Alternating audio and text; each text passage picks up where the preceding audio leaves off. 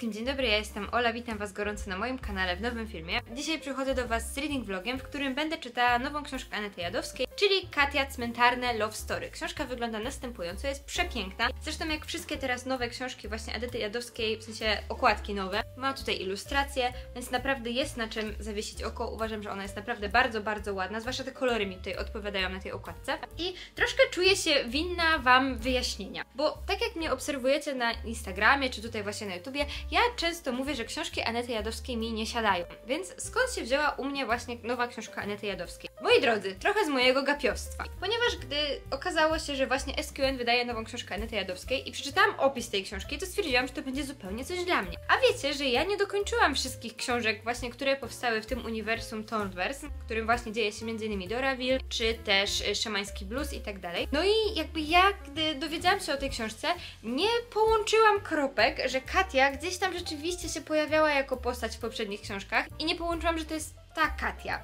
Więc kiedy zgodziłam się recenzować tę książkę, trochę jakby zapomniałam, że to jest właśnie to uniwersum. Ale nie szkodzi. Myślę, że tutaj możemy przedstawić, y, ja mogę przedstawić taką perspektywę osoby, która totalnie się w tym uniwersum za bardzo nie orientuje. Poza tym, że przeczytała dwie książki i chyba trzecią zaczęła, chyba dzie- dziewczynę z dzielnicy cudów zaczęłam. I podejdę do tej książki tak totalnie z czystą kartą, bo wydaje mi się, że można ją czytać osobno, bo to jest po prostu pierwszy tom o Kati. Teoretycznie pewnie będą tutaj spoilery do poprzednich książek Jadowskiej, ale skoro ja i takich nie mam zamiaru czytać, to w sumie jakby, może kiedyś je przeczytam, ale znając moją pamięć rybki akwariowej, nie będę pamiętała jakoś bardzo szczegółów, więc nawet jak sobie coś zespoileruję, to trudno, nie będzie mi to jakoś bardzo przeszkadzało. No i myślę, że ten przydługi wstęp wystarczy. Ja właśnie zabieram się za czytanie tej książki za chwilę, no i myślę, że oczywiście będę tutaj Wam pokazywała też poza książką jakąś moją codzienność. Po prostu jest zwykłą codziennością osoby na home office i po prostu wiecie, jakby książki, spacery z pieskiem, jedzenie i tak dalej, ale to zobaczymy później. Ja właśnie zabieram się za książkę, a Was zapraszam do oglądania dalej. I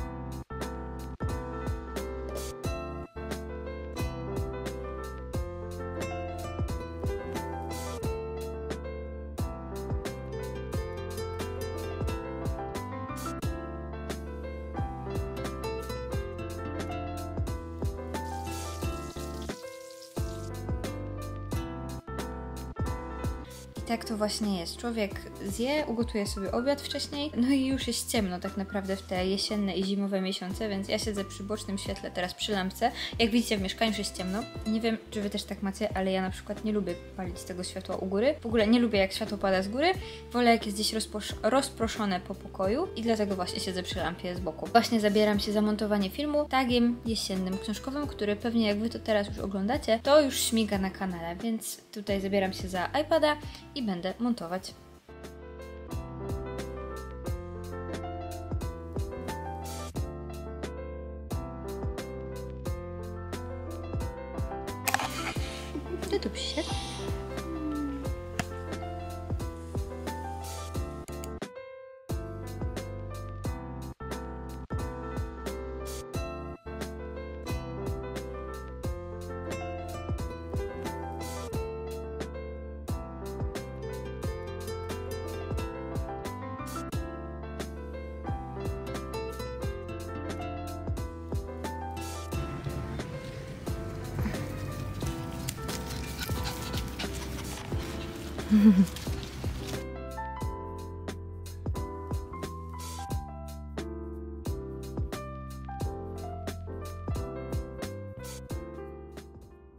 Dzień dobry moi drodzy, przychodzę do Was z update'em czytelniczym, chyba pierwszym w ramach tego vloga, wybaczcie mi to, ale jakoś tak nie wiem kiedy ten czas mi zleciał. Jeśli chodzi o Katię, jestem na 164 stronie i muszę przyznać, że czyta się to niesamowicie szybko. Ja naprawdę nie wiem kiedy te strony się pochłania i choć z początkowo wydawało mi się, że ona będzie jednak zajmowała mi więcej czasu, nie wiem, jakoś tak objętościowo wydaje mi się ta książka większa i bardziej jakby bogata, natomiast w środku leci się przez te strony bardzo szybko i muszę jeszcze raz pochwalić te piękne okłady, te, te piękne ilustracje w środku, bo ja po prostu jak czytam, to mam ochotę y, po prostu znajdować coraz więcej tych właśnie pięknych ilustracji. W sensie czytam jest jakieś wydarzenie w książce i już czekam, że może się jakaś ilustracja na kolejnej stronie właśnie w związku z tym wydarzeniem pojawi.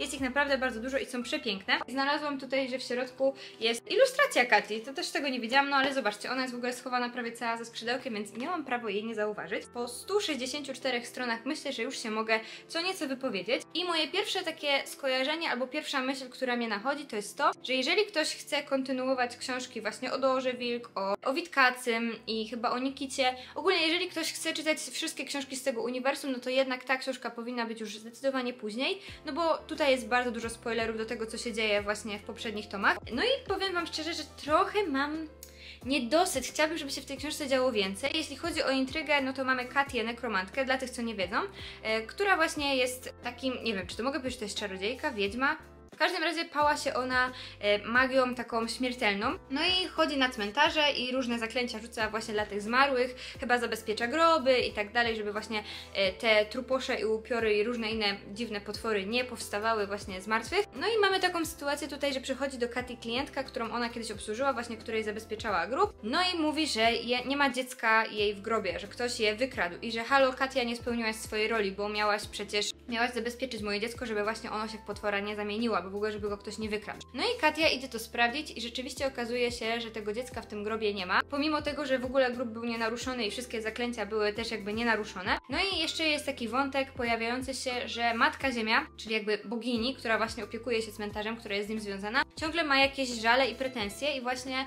okazuje się, że to nie jest jedyny przypadek tego, że właśnie te dzie dziewczynki zostają jakby, nie wiem, ciała znikają z grobów, tak mogę powiedzieć, bo jeszcze więcej nie wiem, co tam się będzie działo. E, jeśli chodzi o wątek romantyczny, który tutaj był obiecany.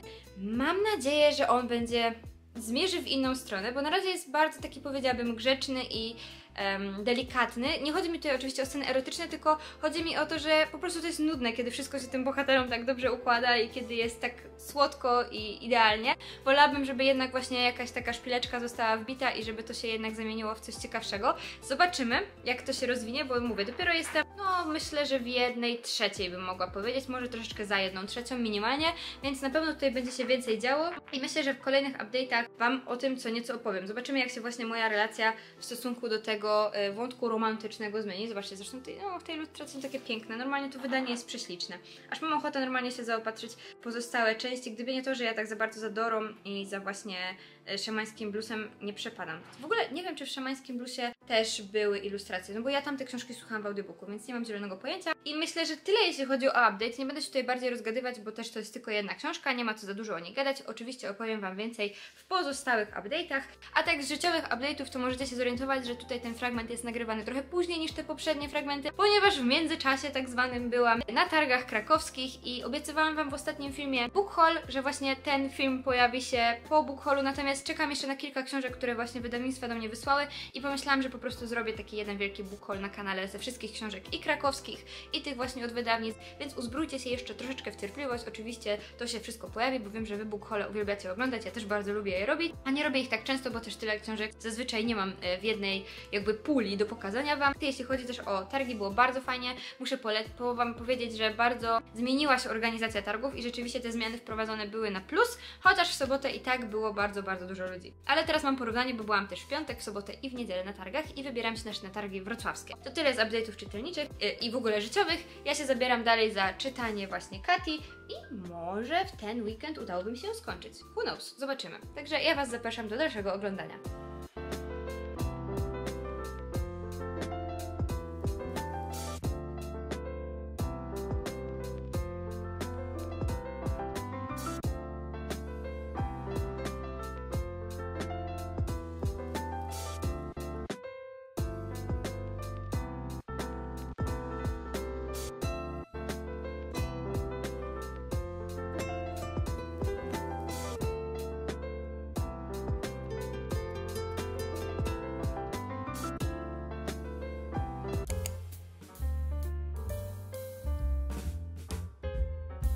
Moi drodzy, powiem Wam, co ekscytuje ludzi przed 30. Dostałam od mojej mamy trzy słoiki kiszonej kapusty i dzisiaj pierwszy raz w życiu robię sama kapuśniak i dodatkowo będziemy też mieli łazanki na obiad. Także mam nadzieję, że się nie potrujemy. Czytałam na internecie właśnie o przepisach, w sensie sprawdzałam przepisy i powiem Wam, że nie do końca byłam przekonana, więc zrobiłam to, co każdy dwudziestoparolatek robi dzwoniąc do mamy, zapytałam się, mamo, jak się robi kapuśniak. Więc dostałam już instrukcję i na razie pachnie całkiem dobrze. W sensie pachnie tak jak w domu, więc może nie będzie aż tak źle. Pokażę Wam później, jaki mam update moich tutaj poczynań kulinarnych i właśnie trochę mnie to śmieszy, że takie rzeczy ekscytują właśnie, trzy, no nie 30, 20 parolatków, ludzi przed 30 generalnie. Kapusta kiszona i gotowanie. Także tak poza książkami tym się też aktualnie jaram, kiedy próbuję otworzyć takie przypisy mojej mamy po prostu u siebie w domu.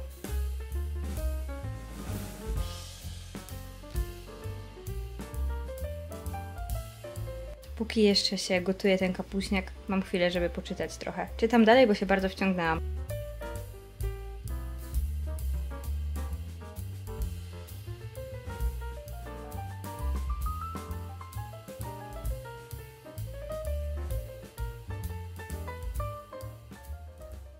Moi drodzy, przed chwilą dosłownie skończyłam czytać Katię.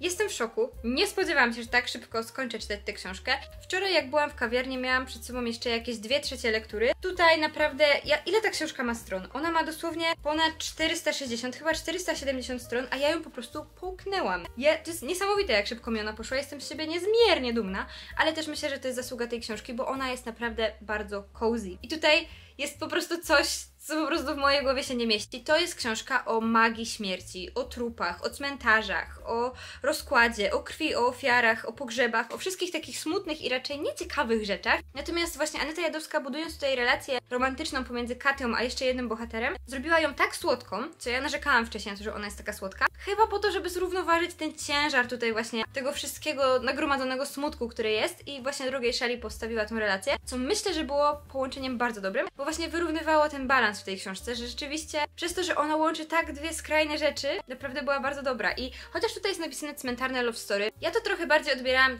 że może to będzie coś na zasadzie komedii. Nie, to jest raczej wszystko, tak powiedziałabym, w stylu bardziej takim cozy i jedyne moje zarzuty są takie, że ja bym może bardziej oczekiwała czegoś, nie wiem, trochę więcej mięsa, albo w tej relacji właśnie Kati i Adama, żeby było więcej, nie wiem, bardziej ogniście, albo żeby ten y, wątek kryminalny, który tutaj się pojawia, też bardziej jakoś szokował, bo no nie ukrywajmy, jego się dało jakoś przewidzieć.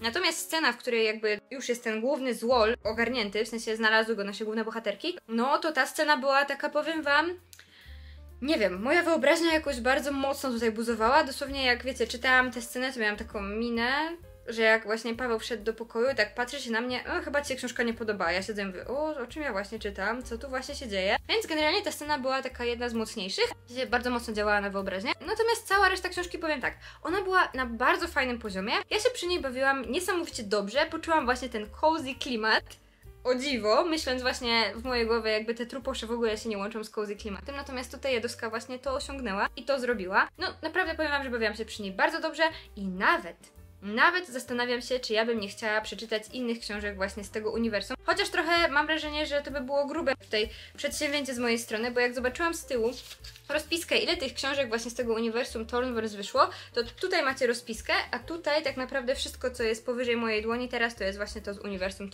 Thornverse. Thornverse. Mamy tutaj heksalogię o Dorze Wilk, trylogię szamańską, trylogię Nikity, kroniki sąsiedzkie, kroniki Tornu, zbiory opowiadań i coś tutaj dla dzieci.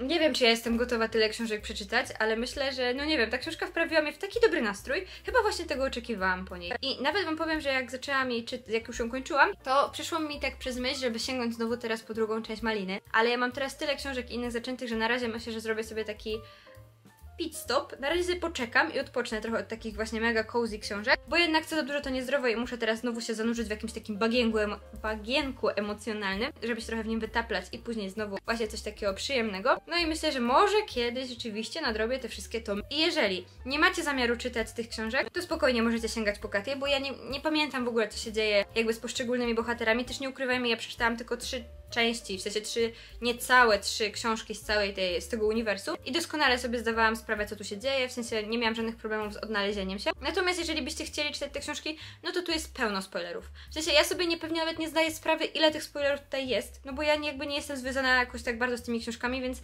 nawet nie wiem, ile tutaj mogłam pominąć. Rzeczywiście, jeżeli ktoś e, czyta wszystkie książki antyjadowskie, no to pewnie będzie się lepiej odnajdywał w tej historii. Niemniej, nieznajomość poprzednich części w ogóle jakby tutaj w niczym nie przeszkadza, jeżeli byście chcieli po Sięgnąć, ale uprzedzam, jakbyście chcieli jeszcze w przyszłości, w przyszłości, nie w przeszłości, czytać inne książki właśnie z, tej, z tego uniwersum, no to jednak zacznijcie od tak jak po kolei idzie, to sobie nie zepsujecie lektury. Ja jestem zachwycona tą książką i nie spodziewam się, że tak szybko ją pochłonę, zwłaszcza, że ona ma prawie 500 stron i za każdym razem, kiedy pojawiały się ilustracje, ja wiem, że ja już tutaj przynudzam. Dobra, tej, tej ilustracji Wam nie pokażę, bo ona trochę jakby za bardzo tutaj, za dużo Wam tutaj y, powie, ale na przykład ta ilustracja Dora i Katia właśnie naprawdę bardzo mi się podobały i za każdym razem jak te ilustracje się pojawiały, to ja się nimi zachwycałam i chwilę spędzałam właśnie, żeby je pooglądać. I myślę, że tyle jeśli o tę książkę. Mówię, ja jestem w szoku, ale chyba tego potrzebowałam. W sensie jeżeli tak dobrze mi się to czytało, to po prostu o to chodzi w książkach, tak? Żeby nam się tak dobrze je czytało, jak właśnie mi się czytało Katię. I tyle o tej pięknej książce, która była niezwykle wciągająca i naprawdę była czymś, co ja teraz potrzebowałam. Zwłaszcza, że jesteśmy po wszystkich świętych, więc ten klimat cmentarny gdzieś tam jeszcze buzuje i gdzieś tam świeżo w naszej wyobraźni siedzi. No naprawdę jestem w szoku.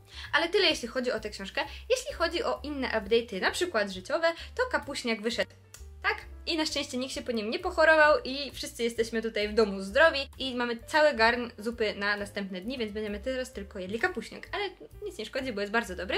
Więc cieszę się, że powoli moje takie kulinarne tutaj poznawanie swoich umiejętności i rozwijanie ich przede wszystkim wychodzi mi na dobre i coraz lepiej się odnajduję właśnie w gotowaniu, bo to w sumie nie jest takie oczywiste. Jeśli chodzi o jeszcze jeden update, bo pewnie widzieliście tutaj na przebitkach, byłam w Empiku i poszłam tam dlatego, że chciałam kupić sobie znaczniki. To jeszcze na chwilę tego rekwizytu sobie użyczę, właśnie Kati. Chciałabym zacząć dobierać znaczniki właśnie w ramach, tak jak wygląda okładka, czyli pod kolor okładki, bo zostałam zinfluencerowana przez wszystkie bookmedia, które teraz chyba wszystkie się rzuciły na znaczniki i wszyscy po prostu siedzą i zaznaczają właśnie cytaty, fragmenty książek, tak jak są kolory na okładce. Ja jeszcze nie dojrzałam do tego, żeby robić to markerami, znacznikami i pisać po książkach. Wielu face próbowałam, ale niestety się zraziłam, jak mi zaczęło przebijać na drugą stronę i ja jednak nie jestem fanką pisania po książkach, natomiast znaczniki wydają mi się taką mało mm, ingerującą w treść książki, w sensie, w, nie wiem, w stan książki rzeczą.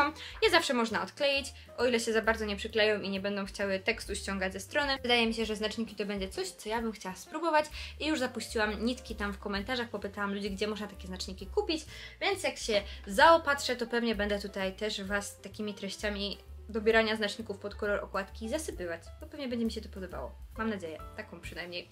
I tyle moi drodzy, jeżeli dotarliście do tego momentu filmu, jest mi niezmiernie miło, bardzo się cieszę. Pamiętajcie, żeby, nie wiem, dać łapkę w górę, napisać komentarz, bo to wiecie, jest interakcja między nami i zawsze coś się fajnego w komentarzach dzieje. Jak Wy odpisujecie mi, a ja odpisuję Wam, wiecie, jest tak fajnie i w ogóle cozy. Tyle jeśli chodzi o ten film. Żegnam się z Wami, zapraszam Was na wszystkie moje inne filmy. Na razie.